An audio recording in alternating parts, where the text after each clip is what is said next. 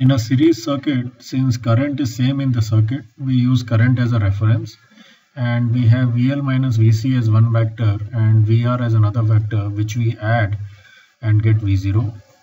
In a parallel circuit, since voltage is same across the various elements, we use voltage as a reference and add these two vectors IC minus IL and IR to get the net current I0 in the circuit.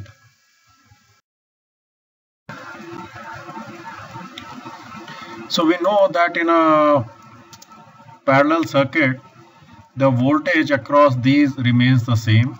So voltage would be used as a reference vector.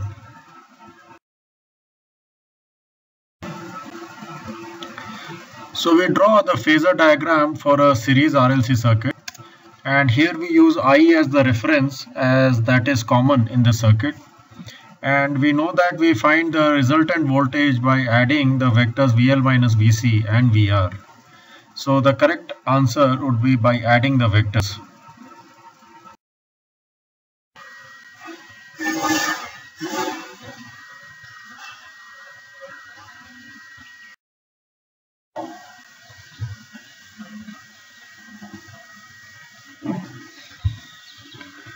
So the VL minus VC can be on the positive y-axis or the negative y-axis depending on the relative size of the inductor or the capacitor.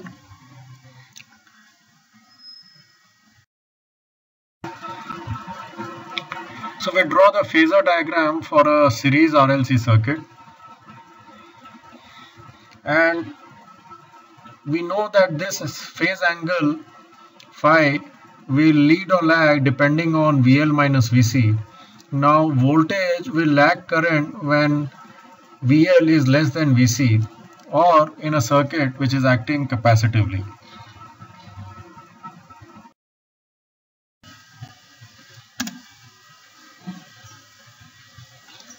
Cos phi is the power factor and this is R by Z. So it can have the value here only 1 or 0 in the given options. So for a purely inductive circuit, R is 0. So the correct answer is 0.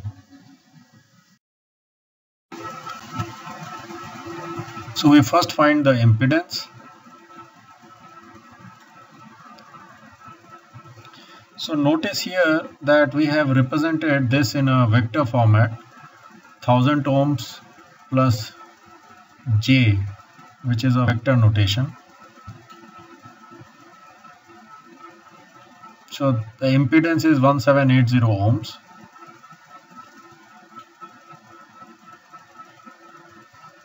This is the phase difference in between the voltage and the current.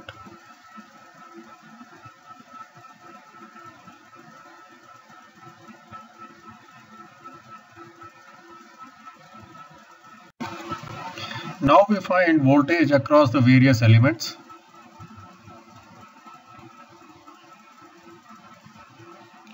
And we can also verify that the voltage across the source is a sum of voltage across the various elements.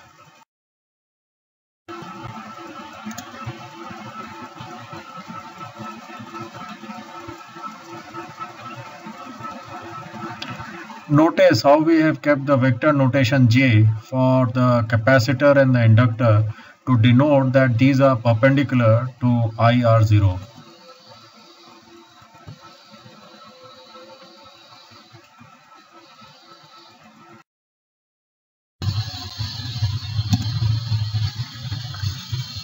So we first find the voltage across the resistance and we then find the net voltage by adding the two vectors VR and VL minus VC.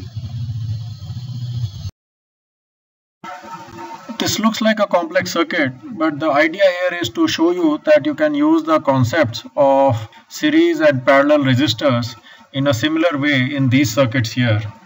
So here we will first look at this particular circuit. And we know that these phasors are opposing each other. So we can do x12 minus xc1 so which is minus 5j and remember to use the vector notations here.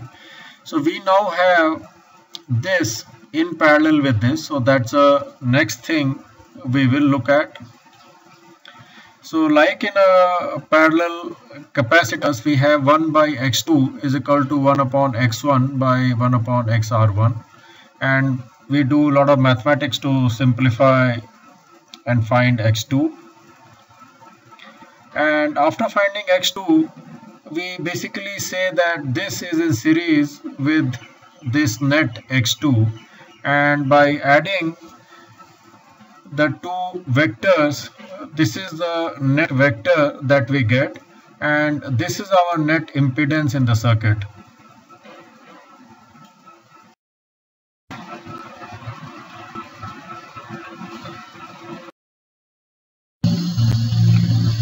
this is the voltage across the resistance and this is the total source voltage divided by the total impedance. We know that in a series RLC circuit the current is the same across all the elements.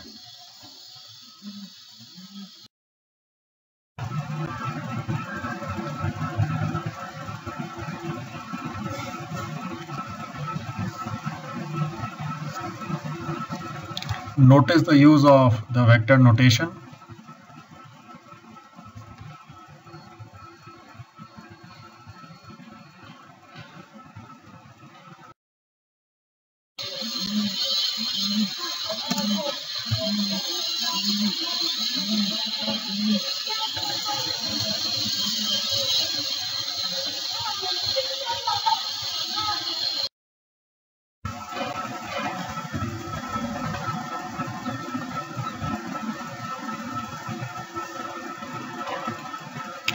Thank you for watching. I hope you found the video useful.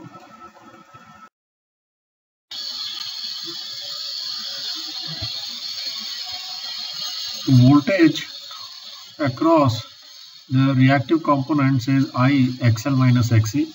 At resonance, XL minus XC is equal to 0. So the correct answer is C.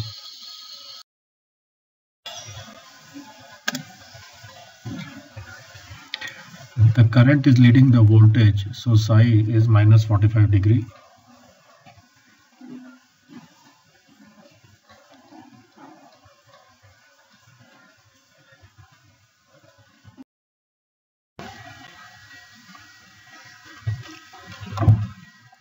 So when the inductor is removed the voltage lags the current by 30 degrees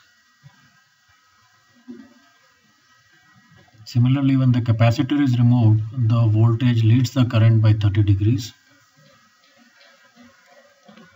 And since VL is equal to VC, VL minus VC is 0, the phase angle is 0 and the power factor is hence equal to 1.